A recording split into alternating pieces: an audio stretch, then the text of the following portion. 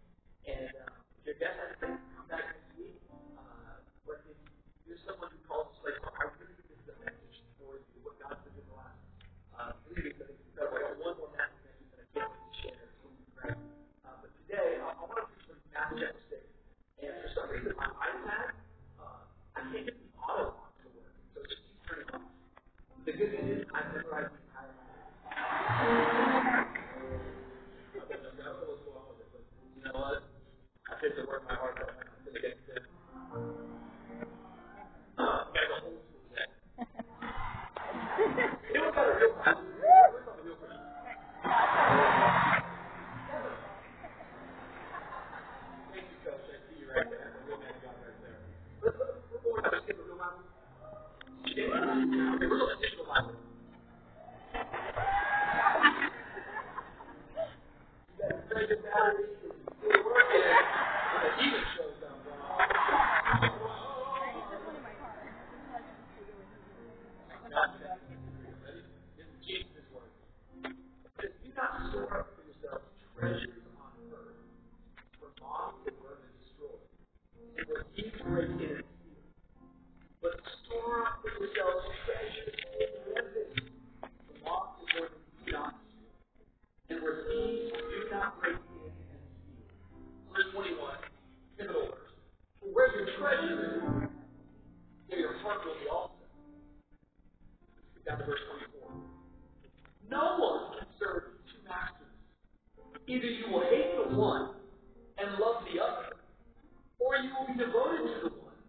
despise you. Here we go.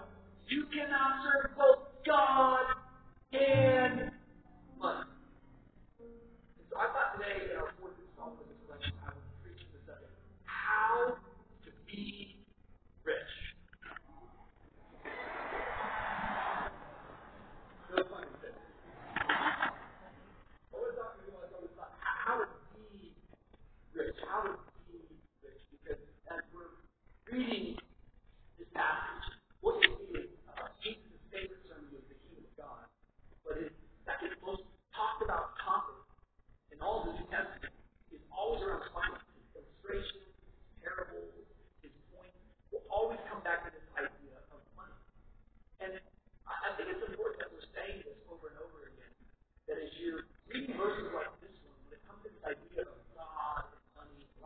Just my mom learning in church. And I don't think what they do, but I want to kind of almost encourage and confidence. I got to tell you what Jesus said. And what I think you have to understand is this, is that Jesus, he doesn't need your money. He wants your heart. I, I think that this is like a revelation that so many people do not have. They, they, if you're messaged by this but He does want your heart. What He says is, He says, where your treasure is, there your heart will be also. Interesting order, because I think sometimes we think that um, our money's going to follow our heart, but that's not what He said. He said, uh, your heart is going to follow your treasure. So wherever you place your treasure, there your heart will be. I never really cared much about Google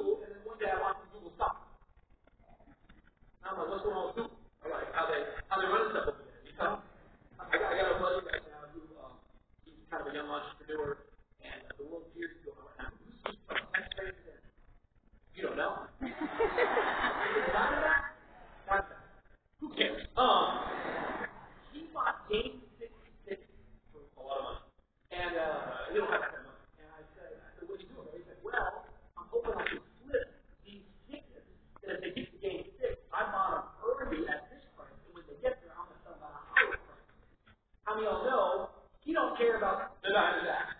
He doesn't care about protecting Rangers, but right now he's watching the Niners.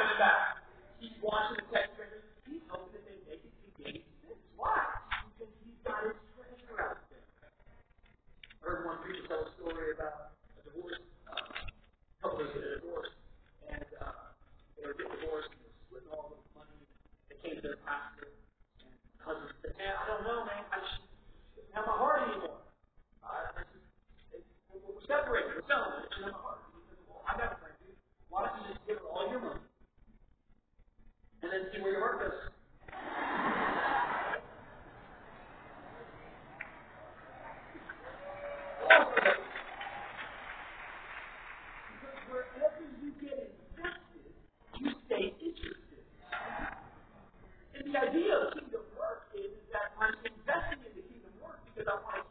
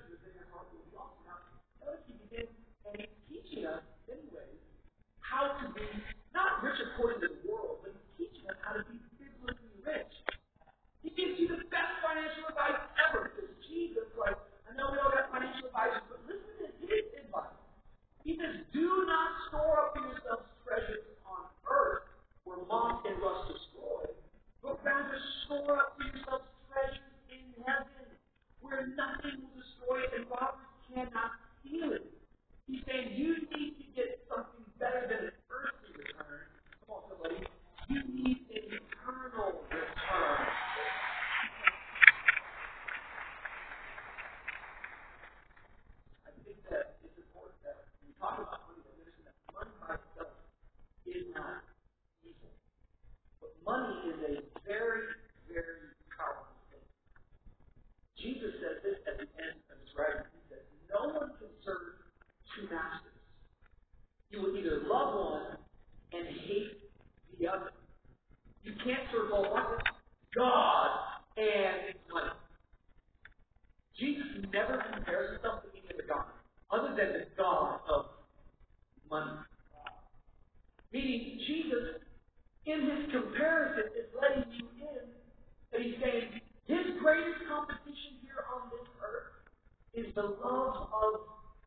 money.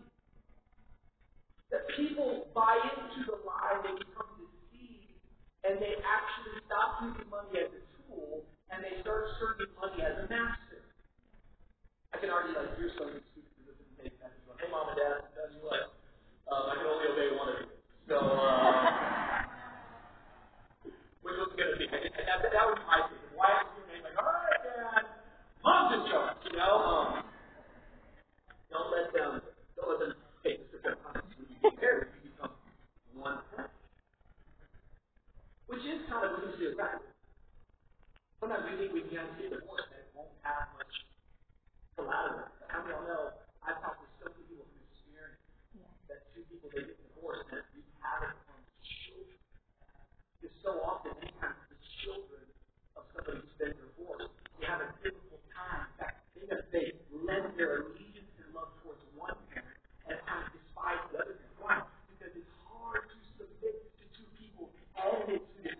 Yeah. That's right. Jesus, here it is teaching you and I. Oh, look, you can't serve both me and money. Money by itself is it, it, not wrong. I just not sure that's the problem. Like, oh, like, we don't we don't subscribe to a prosperity gospel, but we also don't subscribe to a common gospel. That's right. Woe is me, I got nothing, but praise the Lord. If you got nothing, you can't help anybody. We don't do enough talking about it. In fact, um, look at what this is all about.